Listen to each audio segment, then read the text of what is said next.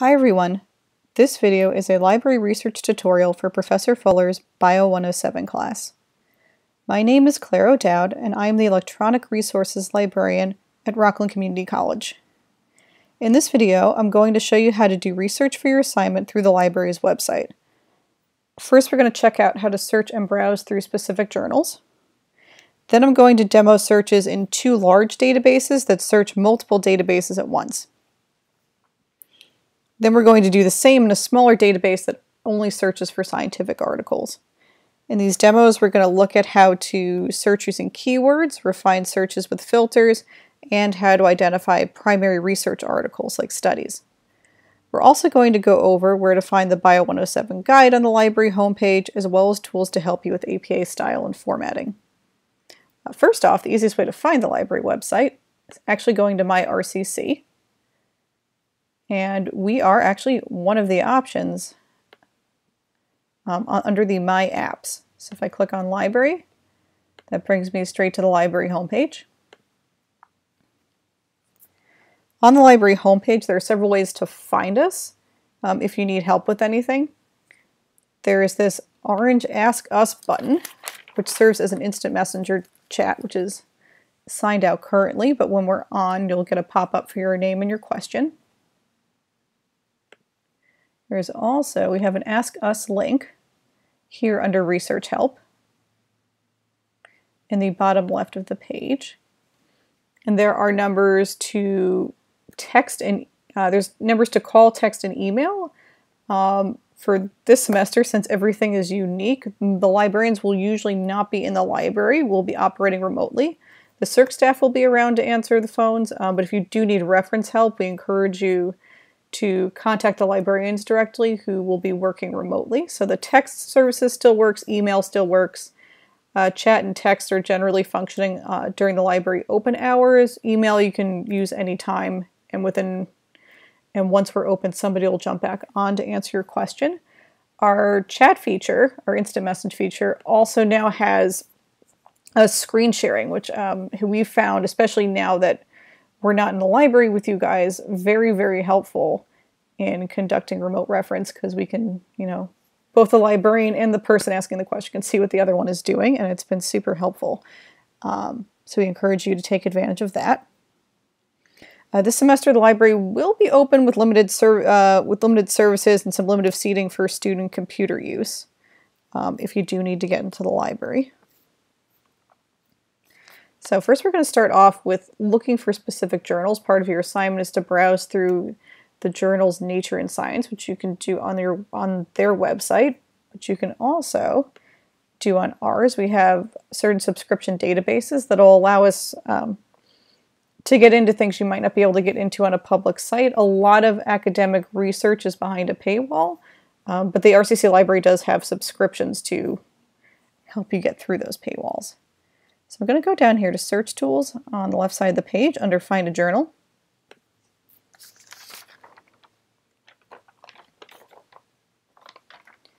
And I'm going to type in Nature.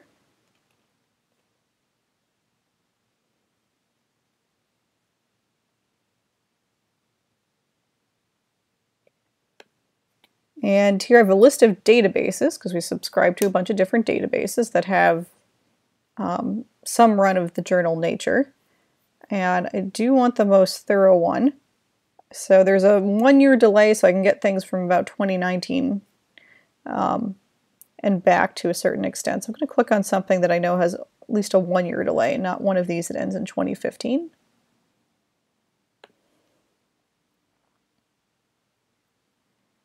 And while it will allow me to see the titles and the abstracts and other basic information about some of the newer articles, just like on the Nature website, it's probably not going to give me the full text of the article.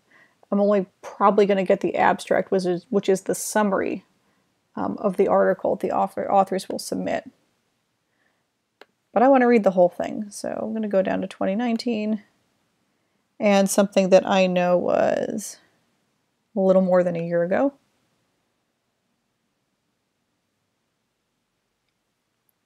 And I want to look for what would be a primary research study.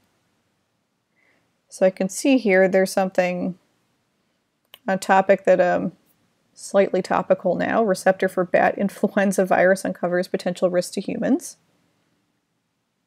There's only one author here. So I think this is actually a secondary article because it is looks to be summarizing a study. Um, yes, uh, Karakus et al. report that the bat flu virus, yada yada yada. So it's it's talking about a study. It's um, kind of a digest article. And it looks like it references some other studies to give background information on the subject. So if I go back one, I believe that this study is actually published in the same issue of Nature, which is this one. MHC class 2 proteins mediate cross-species entry of bat influenza viruses. If I'm looking for research study, research studies are generally conducted by teams who do laboratory experiments and this is a good sign because I see several authors, uh, which probably means that's the study team.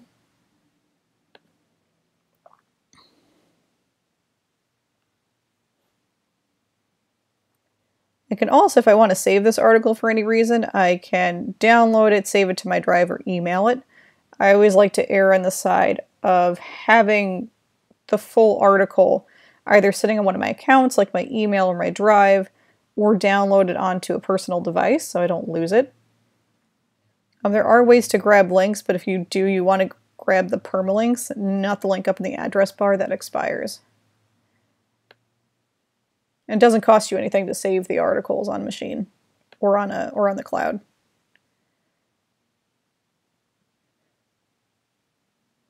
This one, usually you'll see something like abstract come up as part of the formatting of a research study. This one says main.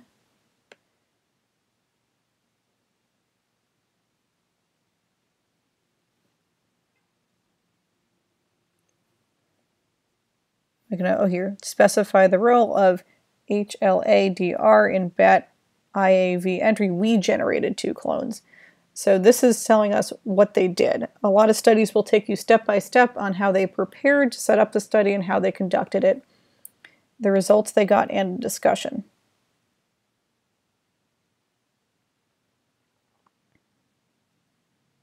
So you can see that label methods. That's usually part of the research study format. They're not all exactly the same, but they usually have certain elements that appear in every research study.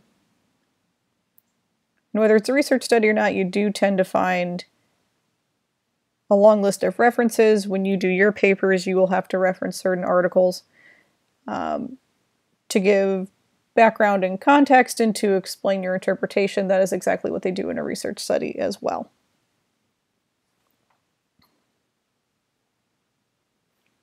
So I'm going to click off of this. So that's one potential topic. And you might also want to look for other journals other than Nature and Science. You do have to find other biology journals. This particular database that we clicked on before that says find a journal is looking for particular journals. It's not searching for individual articles. Once we do a keyword search in the databases, um, it'll pull up articles from any kind of source um, and all different kinds of journals. Here we were just browsing in Nature. I want to find something that's more specifically biology. Nature covers a very broad scientific topics. So let's just type in biology. Some here I'm doing a keyword search for biology journals, not necessarily articles. You can see some of these things get more specific than just biology. I'm going to try this one, marine biology. And here's a list of databases they appear in. Try this one, Academic Search Complete.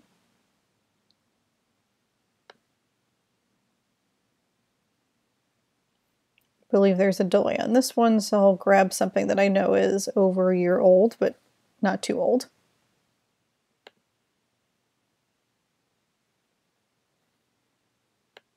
You can see I have a list of journal articles on marine biology topics.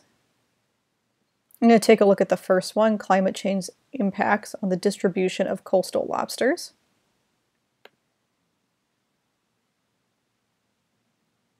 Again, here in this database, you can save things to your drive, you can email, you can grab the citation, which is very handy. It'll give you the long citation that goes at the end of your paper. They are automatically generated citations, so you always want to check it against an official example, but it, it is much faster than constructing them manually. I see, so EBSCO, the Find a Journal database we have, um, EBSCO is a large database company that hosts smaller databases, and they all have pretty much the same format. So in a lot of these, you'll see HTML full text or PDF full text. PDF means you open up the PDF and you see the article as it originally appeared in the database. HTML full text means if you scroll down, it's right in the browser. So I've got the abstract here. I think this article has a more traditional format. I have my introduction, methods, results, discussion, and naturally my references. So now that we have two topics we can play around with, um, both for bats and human influenza and lobsters and climate change, we're going to jump into during doing searches for articles. So I'm going to click off of here. And in the center of the home page, we have this big search bar, uh, which is going to take you to a database called Primo. Um, it's just the name of the platform.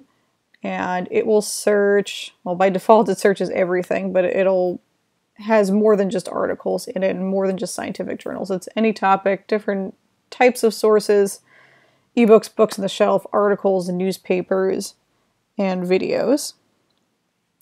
So I'm going to start off kind of basic. I'm just going to do bats influenza. Those are the main keywords I pulled out of those articles.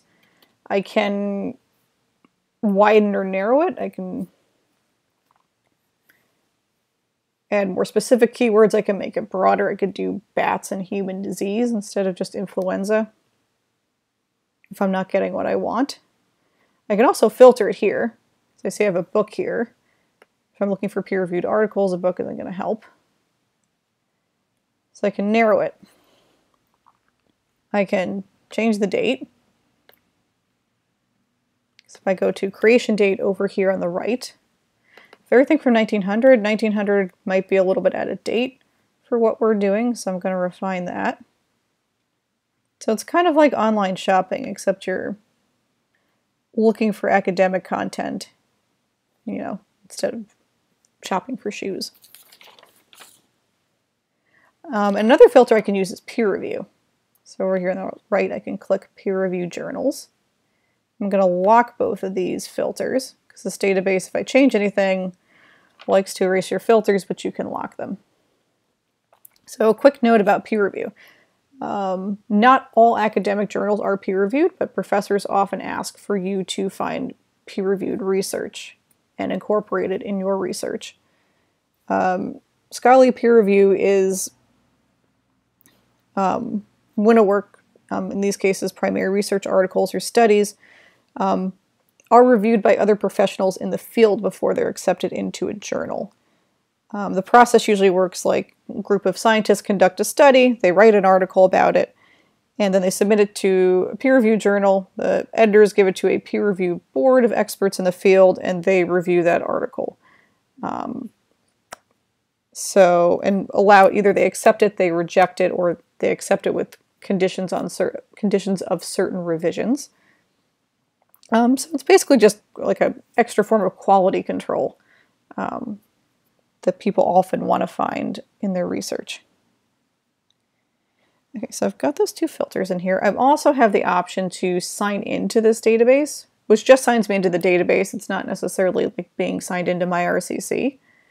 So if I sign in here, I am already signed into my RCC, so it might just automatically sign me in. I won't get that landing page. Um, but because I'm signed in, I can save these articles just to these databases. It's not going to go to your, you know, RCC drive or anything. But and I can also save my searches. So I think I might have saved this article in a different demo.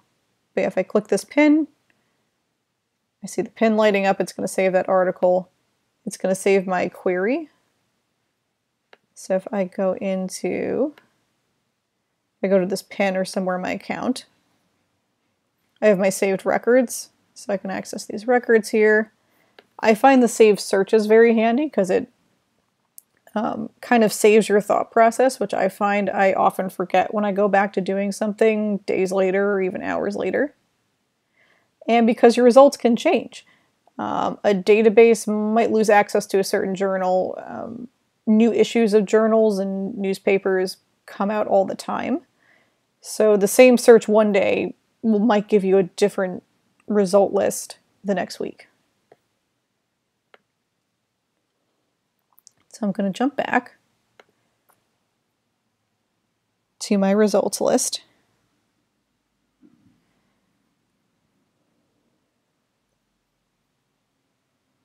And then if I want to take a look at this second article, um, I can see it does label it as peer reviewed in case I didn't use a peer review filter. It also labels it as open access. Open access means that these articles are actually freely available online, unlike a lot of journals that require you to pay for their content. Um, I do find using databases like this, which are proprietary and the library does pay for them, easier than searching either going directly to the sites for single open access journals or even using something like Google Scholar. Uh, the search is just a little bit easier, it aggregates it a little bit better, so I still find it pretty useful to use these even if I want free open access content, but it's still peer reviewed. Um, you know, they're equal in quality to research you have to pay for. And this also has a neat feature, this particular database called a citation tracker, which are these little red arrows you, or you can access through these little red arrows. Um, find sources citing this, so these would be articles written after this one that reference this one. And if they and if you have access or if they index it, even if you only have access to the abstract on this database, they're here. So if you're trying to find related articles for a paper, this is very easy. And I can click in. If I see available online, it means I can access that online. And then I can also, go back one, here and going to reload this because it doesn't always reload the citation tracker links very well.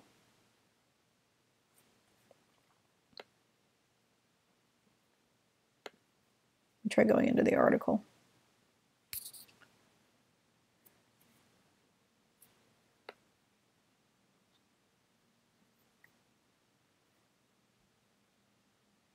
Just want to load on this one at the moment, but there's also a list here.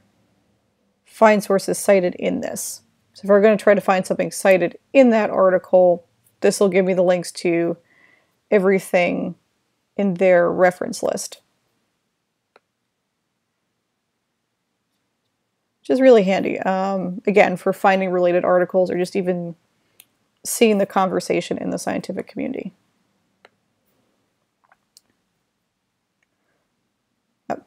Now my links are back.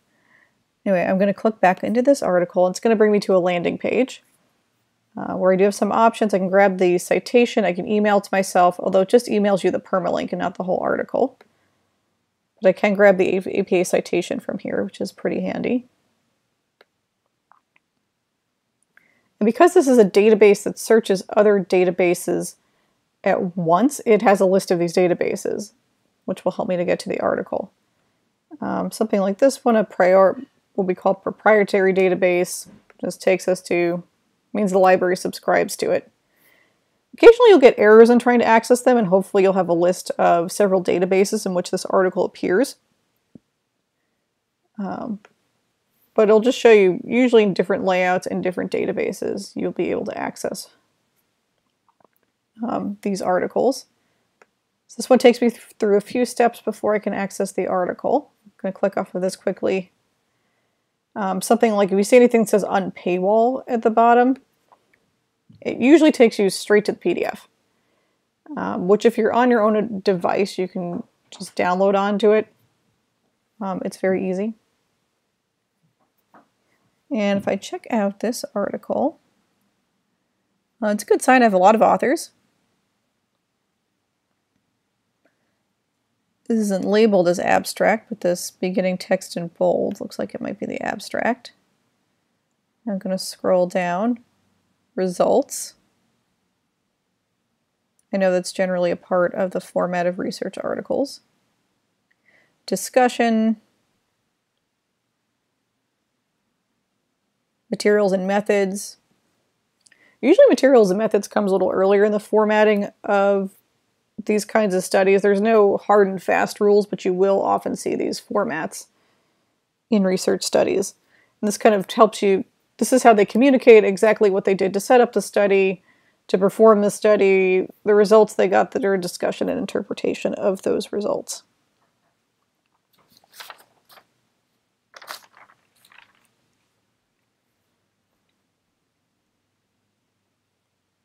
Okay, I'm going to click off of here. I'm actually going to jump out of this database and go to another one. So we're back on the home page. We do have a second database, um, which is an older one that we've had for a while. The one we just checked out, Primo, is a little bit newer. We have a second one under Search Tools, right above Find a Journal, where we were before, is EBSCO Discovery Service. It takes us right to the advanced search. And I can either just punch in keywords now, or I can um, add some filters. I might want peer review or full text. You know, I can also filter for the year if I want. I can do the same search, something like bats and influenza.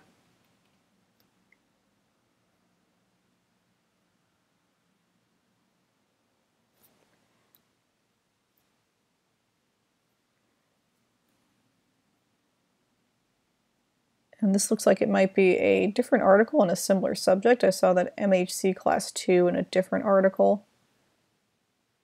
Although this one looks very new, so I think I might only have access to the abstract of this particular article.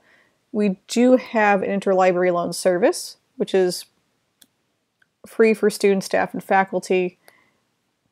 It just means that you put in the request and on your behalf, the library asks another library that has access to it um, for the article or the book or whatever you need. It does say it takes some time. Um, I think because there is a link to this abstract to a different in a different database. It's coming up in my full text filters. So sometimes you find quirks like that. But if you want to either set up a lib- interlibrary loan account or need help with that, you can always connect with us. It might be a little bit slower this semester since and there's no guarantee of, you know, how well staffed libraries are, um, given the current environment. Let me scroll down.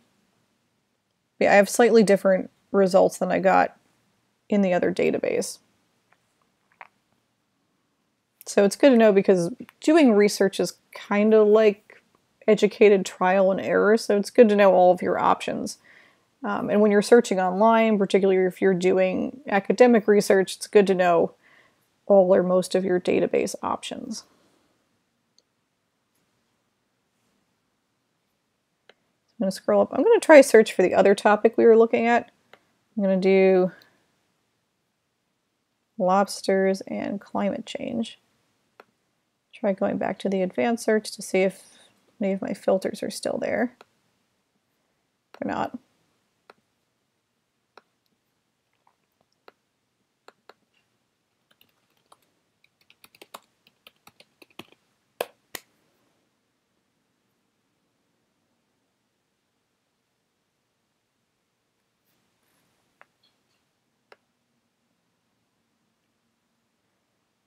Scroll down, scroll down here, and I'm going to click on one. Since these are studies, they tend to be very specific. That's another, oftentimes it is a hint you may be looking at a study if it's very specific. If there's just something that says the effect of climate change on lobsters for, you know, from 1950 to 2000, or, you know, a general book on, you know, a general background on marine biology, it's probably not a study. Um, This is looking at, you know, fishery in Western Australia. It's pretty specific. Again, pretty similar format to that Find a Journal database. I'm seeing PDF full text. I can save things to my drive. I can email myself the article. And I can also make it give me the APA citation.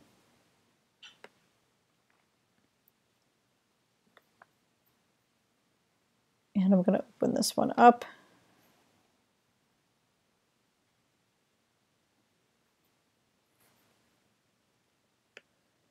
And I've got an abstract and introduction, materials and methods, results.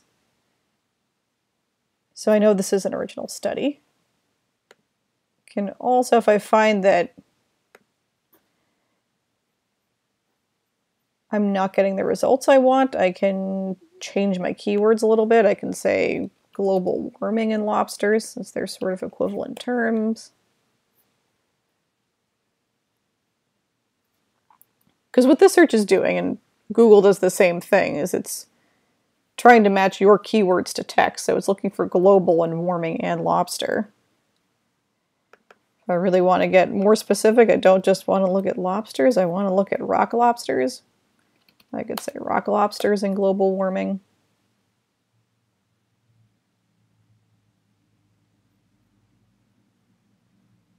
Which is going to give me different results. So we just checked out two very large databases, which search you know more than just scientific articles and more than just articles. So we do have to filter out for those. I'm going to click off of here. We do have science-specific databases. So if again, if I'm down the left side of the page under Search Tools, I'm going to go to Databases by Subject. And I'm going to stroll on down to Science. And in the center, there's a list of different science databases. Some of them are generic databases that have science content. Um, some of them are article databases. Some of them, like this first one, is database of videos. I'm going to go down to Science Direct here because this is going to offer me scholarly scientific journals, which is what I want for this assignment. And I don't want to filter out for any kind of resource type because I know this is going to be, you know, with the exception of maybe some book chapters and conference papers, uh, these are going to be very largely journal articles, all covering science. So I did my climate change lobster, did similar search results, or I did a similar search or the same search. I'm going to click on this article. Here. So here I've just gone directly into those to a database instead of starting from a large one, which will take me out and bring me into smaller databases.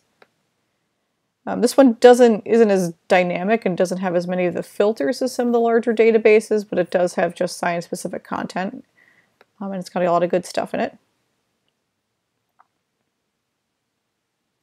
And I can tell from looking at this because it's got the parts of the article that I'm looking for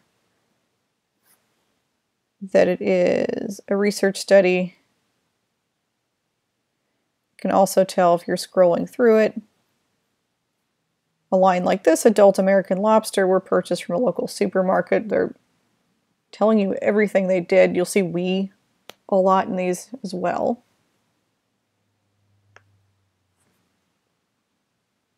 And here, um, it doesn't. This one doesn't have any automatic citations or something that allows you to directly email the articles. If you click share, it gives you the permalink. Um, again, if you're on your own device, I would just download it. Always err on having the file on your device or on one of your own accounts. Occasionally there's, you know, an IT blip and it's harder to get onto the databases or something's up with MyRCC or you forget your password. Um, I would say if you're very paranoid, download it onto your device in case there's a storm and your power goes out. You still have, and you don't have access to the internet, you still have access to your articles. Or download it onto your, you know, if you have your Google Drive on and your email on your phone, put it on that if you're willing to use your data. Okay, so now that we've gone over the research part of it, when you actually write a paper, you need to format and cite it. Um, so just like the studies we checked out, um, you're also going to have to put in your references, format your paper in a particular way. Um, and for science classes, we use APA, kind of like on Wednesdays we wear pink. It's just the format they, they use. Um, so I, while I do recommend auto citations, you do want to be able to check them you know, against something else like an official sample. we do have um, an APA citation page. Look under research help, we have citations guide, citation guides on the library website, but it's heavily based on one out of Purdue University in Indiana, as is pretty much every um, college and university library citation page is based on this one. It's called Purdue OWL. So I can just type into Google. I'll do Purdue OWL APA, so it'll bring me straight to the APA page.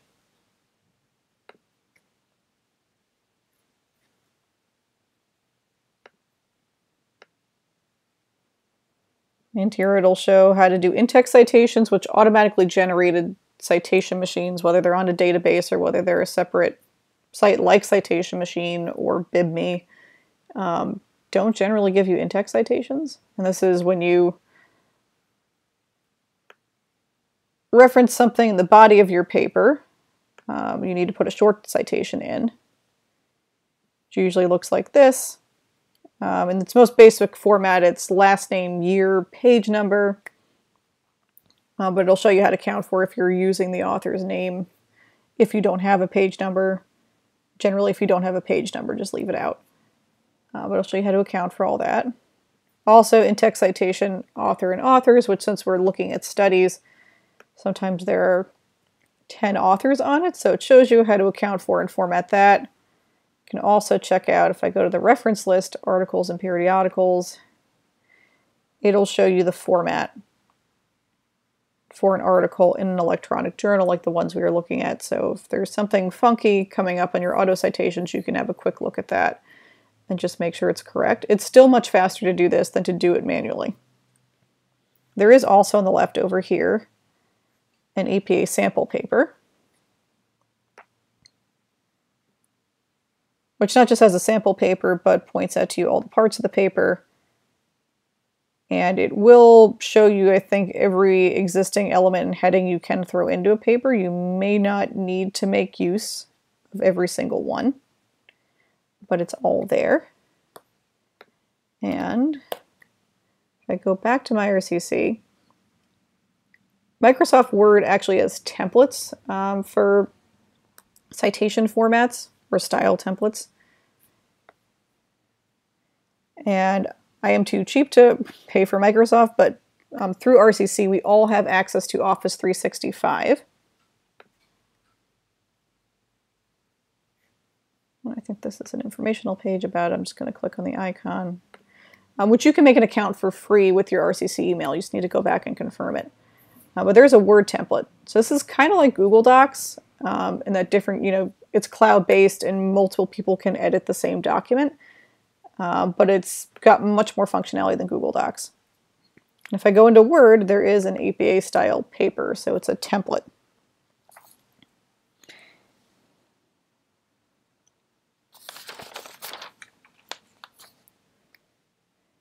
And so I generally recommend any kind of formatting and citation shortcut that you can take. I personally hate doing formatting and citation, um, but this takes a lot of the tedious work out of it um, and it also allows you to concentrate on writing good content instead of, you know, making sure you're correctly indented. Um, it's good for your professors too, because it's kind of like standardized spelling. It makes it easier for them to read and understand if the formatting the citations are all the same. And if someone's grading you, you generally want to do what you can to make their life easy. Before we sign off, I'm going to show you guys where to find the Bio 107 guide. Go back to the library homepage. And on the left, under Research Help, we have Research Guides. Going to select Biology on the drop-down. And here's Bio 107.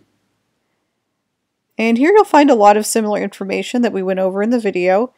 And it's just an additional tool you can use while doing your research paper. So that's going to conclude the tutorial, but the research help does not end here. If you need help with either this assignment or any other assignment at RCC, please feel free to reach out to us.